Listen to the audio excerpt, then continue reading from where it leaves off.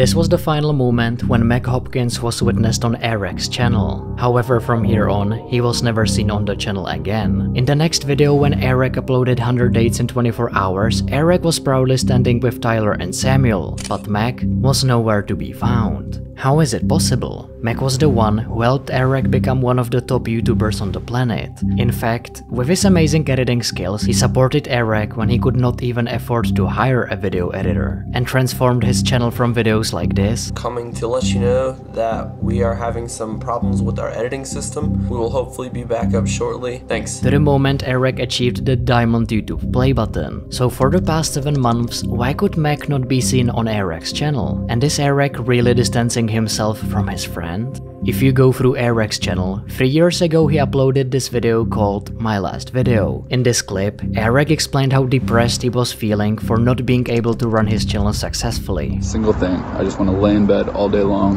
and have like close to zero motivation. With only 1500 subscribers, Eric was literally shaking about his future on YouTube. He was desperate to find someone who could get him out of this mud, and then enters Mack Hopkins. Eric realized that without a professional video editor, it is tough to grow successfully on YouTube. Fortunately, Mack decided to give everything he had for Eric, from selecting powerful topics to editing to even participating in every challenge for the video. Mack was the perfect companion that Eric could not afford to lose. However, there was one big issue. Behind Eric finally being able to skyrocket his channel, Mack was also given the opportunity to see how a channel grows from 0 to a million subscribers, what kind of idea they need to select that guarantees more than a million views, and how much does it really cost to make a viral YouTube video. Not to forget, if we rewind their history, Mack was also on the same stage as Eric, and he still needed to polish his editing skills. Me, someone with no money, would be moving in with someone with crippling debt and sleeping on their couch. So why would Mack say no when he is being given the perfect formula to establish his own YouTube career in the future? Nonetheless, during this journey he did not realize the level of bond he would develop with Eric. After deciding to upload one video every single week, Mack and Eric became best friends they never had. They were completely inseparable, and there was not a single moment when they didn't enjoy making crazy videos. It was like they were meant to experience this journey together and the whole world got to witness their friendship. all in one place together,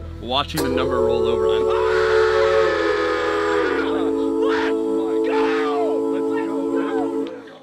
But then, more new people kept popping up in the team. After hitting 1 million subscribers, Eric realized that he needed to expand his team to accommodate bigger projects like Mr. Beast, and his objective was not to include more than 4 people in the team, and Mack most likely felt the need to move forward and try something new. So after all the thinking and spending unforgettable moments with Eric, 9 months ago, Mack uploaded something that no one imagined. I am going to attempt to start a YouTube channel. Not a normal YouTube channel. I want to bring something new to the table. And I want to make something new. Not conforming to any meta and actually tell stories that make people feel something.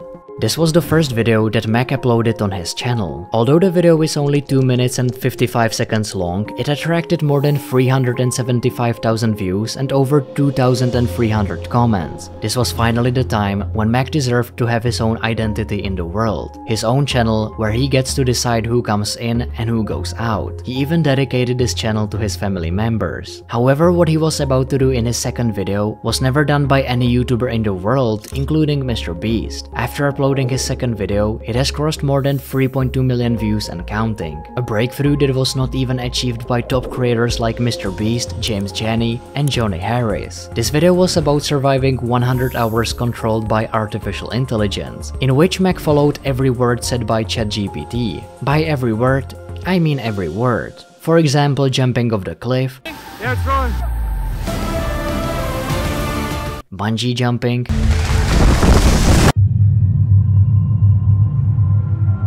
and even following weird answers from ChatGPT while dating a girl. Cats are skilled predators, and they're known for their hunting abilities, and uh, they're able to catch small prey, you know, with their um, with their claws. A perfect idea that not only connects with the majority of age groups, but also has all the ingredients of a viral video, like tension, emotion, curiosity, and of course, Mack's extraordinary editing skills. In an interview, Mack clearly said, I just want to make videos that creatively fulfill me, and they might not perform as well as that AI video did. I'm just excited about the fact that one day my kids are going to watch these videos, and it's going to be really cool to show them what their dad was doing in his 20s, running around and making videos. It seems that Mack is going to make his kids prouder than he could have imagined, because after receiving a personal comment from Mr. Beast, he is now participating in his videos to attract a larger audience to his channel. Mr. Beast himself said, Mack is gonna be a goat one day, mark my words, and we don't doubt that anymore. If you look at Mr. Beast's recent video, Mack was again witnessed performing various challenges, but most importantly, this moment from this video clearly proves why he wants to appear on Mr. Beast's channel. I've been in one of these videos before and I've lost everything. And the only reason I even am back here at all and got a second chance is actually because of you guys. This video has already crossed 91 million views and is guaranteed to grow, so you can imagine how many viewers would remember Mack's face whenever he uploads his next video on his channel. In fact, after watching this video, thousands of people would have already subscribed to his channel. However, we still don't have a clear answer as to why Mack left Eric. Did something serious happen between them? Or is Mack going to reappear on Eric channel the way he appeared on Mr. Beast's recent video? Well, why not hear it from Mack himself? Recently, Tyler uploaded a video on his channel where he openly asked why Mack suddenly disappeared from Eric's channel. How it got so weird. Would you ever be in an Eric video again? Wow. At first, Mack tried to ignore the actual answer when Tyler asked why he had not appeared on Eric's channel for a long time. He responded by stating that he was busy with family stuff. What kind of family stuff? Just like, uh, you know, playing catch with my dad, you know. For a year? You played catch with your dad for a year? Yeah. It's a long time to play catch with someone. He's good. But then he gave a hint of why he left Eric.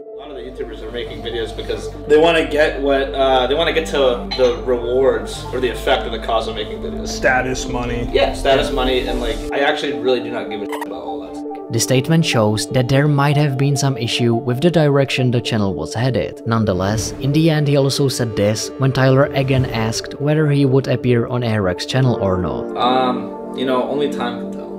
This answer further makes this question more mysterious than before. It's most likely that Mack left Eric due to personal reasons and mainly needed time to focus on himself. As mentioned in Tyler's video, Mack has been going through some tough times. Actually, how are you doing? For real. There's a lot of ups and downs. I have been sad recently. I got some stuff going on with my family. You know, I'm on that, you know, endless, you know, quest for love, which can be sad. And it feels like, you know, refreshing to like feel uh, like, you know, intense emotion. However, all three of them are most likely still friends. Even though all three of us are still friends, I still didn't know why Mack wasn't popping in the videos as much, so I just had to find out for sure. All the way from the start, Mack's journey has been pretty spontaneous, from starting at the bottom with Eric to being one of the main stars of two Mr. Beast videos. With this being said, it is very probable that we will hear more about Mack in the future. Consider subscribing to this channel and I'll see you next time.